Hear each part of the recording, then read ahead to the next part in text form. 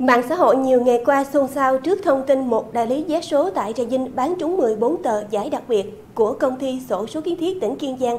Theo chủ đại lý vé số, ba khách mua 14 vé số trúng giải đặc biệt trị giá 28 tỷ đồng chưa trừ thuế đều mua theo hình thức online. Khi trúng, những người này không hề biết anh vẫn giữ các vé trúng giải. Khi anh thông báo, họ rất bất ngờ. Anh Đặng Hoàng Thanh, chủ đại lý vé số Thanh Trang nằm trên đường Điện Biên Phủ, thành phố Trà Vinh cho biết, anh mở đại lý vé số ở thành phố Trà Vinh mới hơn một năm, bán theo hai hình thức trực tiếp và online. Anh bán online bằng cách chụp ảnh vé số đăng trên mạng xã hội. Ai mua sẽ chọn vé số, rồi chụp ảnh gửi lại cho khách.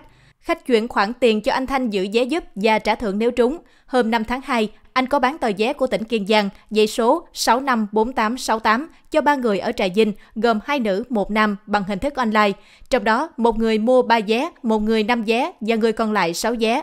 Đến chiều, sau khi dò số thấy trúng độc đắc, anh gọi cho họ mấy lần mới được. Lúc đó họ rất bất ngờ vì biết mình trúng đặc biệt. Sau khi trừ thuế theo công ty và qua hồng cho đại lý, thì mỗi vé trúng độc đắc nhận được 1 tỷ 792 triệu đồng.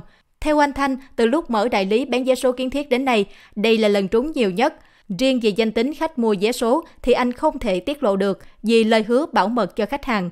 Lãnh đạo công ty sổ số kiến thiết tỉnh Kiên Giang xác nhận, khách hàng trúng 14 tờ giải đặc biệt cho kỳ vé phát hành vào ngày 5 tháng 2 là đúng sự thật. 14 tờ vé số trúng giải đặc biệt tại đại lý cấp 2 ở Trà Vinh, đổi thưởng tại đại lý cấp 1 ở thành phố Hồ Chí Minh.